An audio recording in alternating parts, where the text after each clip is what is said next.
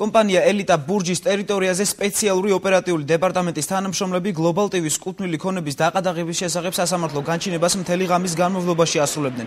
პოლიციელებს მობილიზებული ჰყავდათ მძიმე ტექნიკა, რომლითაც ტერიტორიაზე დალაგებული ტექნიკური დანადგარების საწყობებში გადაჰქონდათ.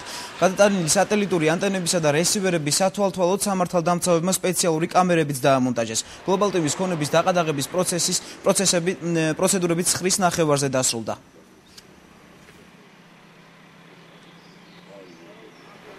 დაედო ყადაღა, დასაწყობდა, დაილუქა ჩვეულებრივად.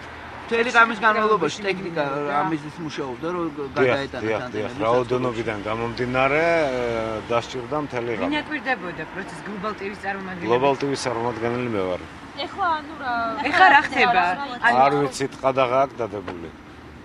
ან გლელი ტაბურჯის თანამშრომლებს რომ ზვერ ახერხებდნენ, ეხა აქვს შესაძლებლობა რომ გააგრძელოს ამ შევ პროცესი? აა რომელი სამუშაო პროცესი? ელიტა ელიტა ბურჯი. ელიტა ბურჯი. გლობალ ტივის არა.